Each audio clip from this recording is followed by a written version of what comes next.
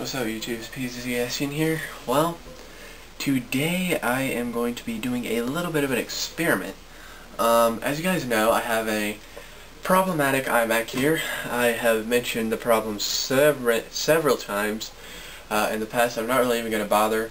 But basically, uh, it does have a problem that kind of makes it almost unusable, but, you know, it, it can be used in safe mode. Let's just put it that way. Um, but in normal mode, you're not going to get by without, uh, you know, you're not going to get by using it for anything really much if you keep it on for over like 30 seconds or something. so, yeah, um, I have uh, decided that, uh, actually I decided kind of just now, that I would try a bit of an experiment. And as you can see from the, uh, from the title, it involves running something called Ubuntu. Alright, and I happen to have a CD right here for Ubuntu. Can you see that? It says Ubuntu on it. It's 11.4 or 11.04, which is the latest version. Uh, I burned this over the weekend and I tried it out on my computer out there. Now, one day I will have to make a video talking about my experiences with it. I will have to say they were quite negative. um, quite negative, but I'm not blaming the operating system. I really like the operating system. It's just that I didn't know what I was doing completely when I installed it. it that's for another video, but basically I could not get back into Windows, and I wanted Ubuntu just to be a side thing. So anyway, yeah, because I am you see, I've already tried this out earlier. I've already tried booting from the from the CD, or actually this is a DVD, and believe it or not, it actually worked. Because what's weird is that if I plug, if I enter this into the iMac when it's turned on and in Mac OS, it doesn't know how to read it. It's just like gives, it just stutters a little bit and just eventually quits and doesn't even bother trying to read it. But it will boot from it, so I guess, I don't know, it's just kind of interesting. so, I have got. um, I'm going to try it out. Now, when I when I booted from it earlier, I did try it, but only for very light computing. I, I really wasn't trying to push anything at all. Just a very simple computing experience. Just basically opened it and then turned it off. Uh, but uh, yeah. So because I'm going to be running an entirely different operating system on here, and I'm not actually going to be installing it yet, uh, I'm not going to do that until I get it fixed, obviously. Um, but because I am going to be running basically a, completely different operating system, I cannot use this wireless keyboard and my Magic Mouse. Now, I, I will be able to use my Magic Mouse eventually. Uh, eventually it'll recognize it and say, you want to install some hardware. Uh, but I cannot get the, uh, the Bluetooth keyboard to pair up, so in order for me to at least get started, I've plugged in my Apple wired keyboard that I stole from the PC. One day I will be getting one of these for my iMac. Um, I, I, just wireless keyboards they're nice but I just don't like it at all. Uh, and I also have this mouse right here which I need to turn on. That's important. So let's go ahead and give this thing a shot. Alright, so if you let's go ahead and do this. Alright, so basically if you don't if if you don't know how to get to the boot menu in Mac OS, it's pretty simple right when you turn it, basically when you turn it on, press and hold down the Alt key. Alright, and you should see a mouse. I don't know if you'll see it or not. But I'm holding down the Alt key. There it is. You can see right there, booting Mac OS 10. I don't really have a lot of time to waste here. Gotta be kind of quick. So here's my Ubuntu CD. Going into there. Alright, so I did manage, even though I couldn't really do anything because it, uh, you know, it recognized my mouse first, which is kind of interesting because I couldn't use my keyboard and it asked me to enter in a pin, but I couldn't enter the pin because the keyboard wasn't paired, so that was kind of weird. Uh, but yeah, I basically just turned it on and then turned it off. I had to do, I actually had to do a hard reset to turn it off because it, it wants you to hit enter after you eject the CD, but I couldn't hit enter, so the CD ejected automatically. Now as you can see right here, this is interesting, so we can zoom in. No, but the CD itself is labeled Windows. I thought that was interesting, but I don't know. I kind of thought instead of just showing Windows, it would show the actual name of the CD, but I don't know. anyway, here you go. This is exciting to see. And look at this. Check it out. If you're a... Ooh, that doesn't look right. Um, it looks blue on the um, camera, but in reality, well, actually over here it looks kind of gray, but it's actually a purple screen. It's just working on some stuff here. It's kind of weird. Um, sometimes it loads into a menu that it's about to load up into, and sometimes it does. Actually, you know what? It was because I was holding Shift. I was holding Shift because I wanted to boot in safe mode.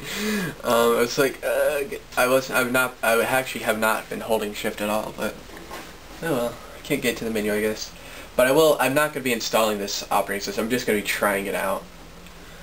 So this is a long wait, so I'll speed up this. This is a 24 inch screen, by the way. I have to say, it looked really cool on a 24 inch screen. Even though it didn't do anything, it looked really cool.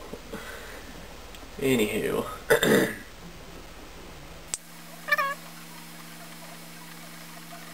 I don't know. It might. It could. It, it, it is entirely likely that it will crash on me here because, uh, you know, I hadn't really turned the computer on at all since like two days ago. Uh, I didn't turn it on at all yesterday. So it's been sitting idle for over a day and it's had time, plenty of time to get really nice and cooled down, so I don't know, we'll see. But, who knows? Uh, I did go ahead and boot it up normally after I tried it earlier, and it wouldn't boot up, it just glitched out on me and everything.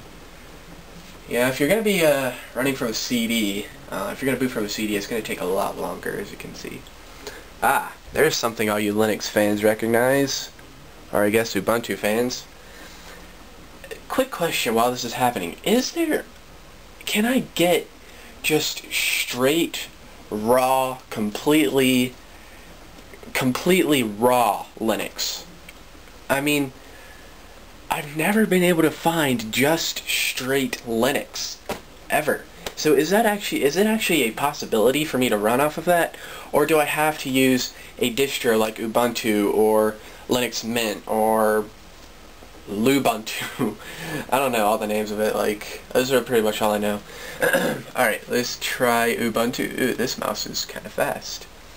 So I clicked on try Ubuntu, so basically the CD has on it a complete copy of this operating system that can be ran. So I'm just going to be running the operating system from the CD.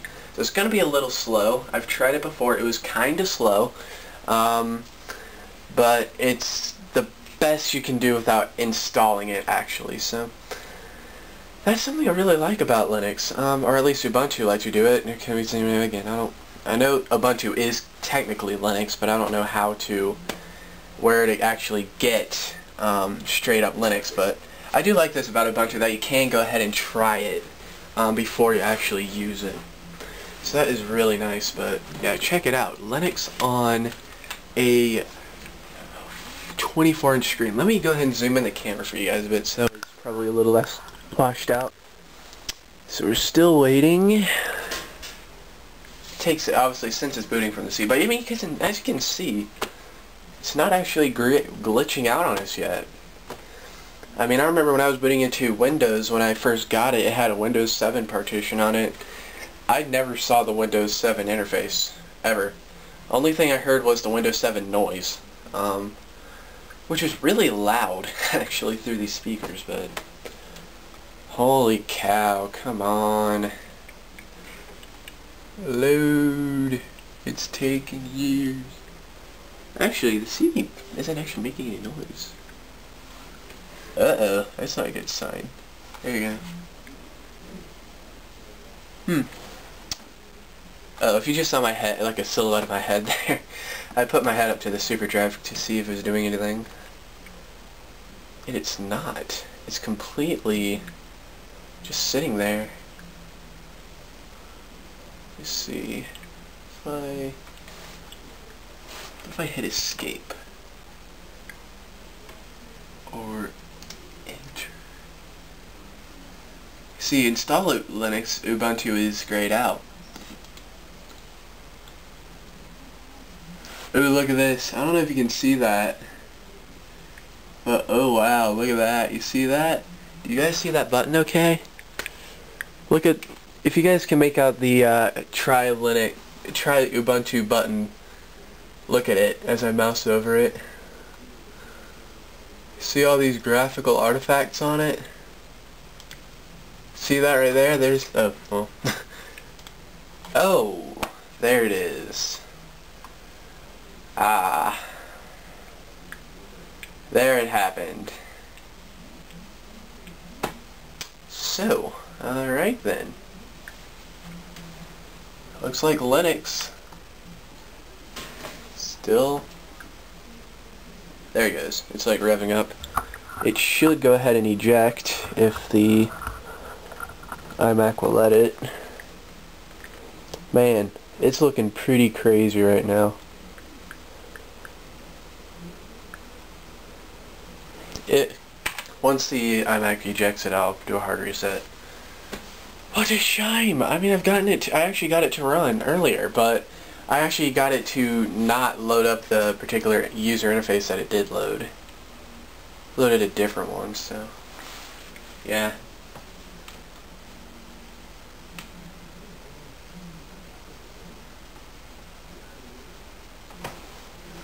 I just thought of something. When I was trying it earlier and I had this keyboard attached, I hit Control Alt Delete to get to the shutdown menu and it worked, but I couldn't do anything. So maybe this was connected to it. It just didn't recognize anything. I guess it just didn't have proper drivers or something. That's weird.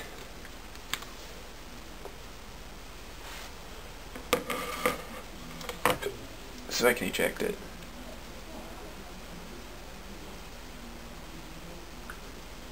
I guess not. Looks like hard resetting is what's going to have to happen.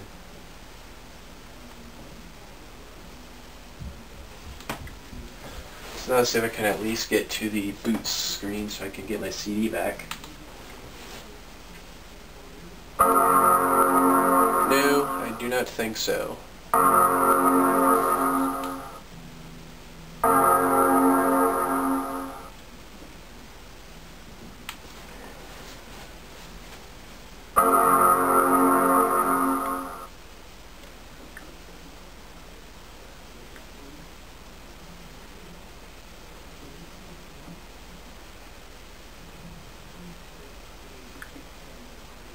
Takes it longer to get to there.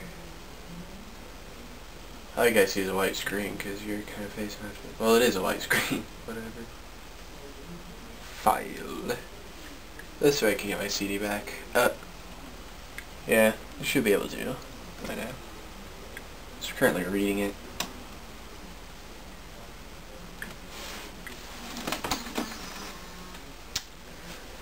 So yeah, as it turned out, unfortunately, it was an epic fail.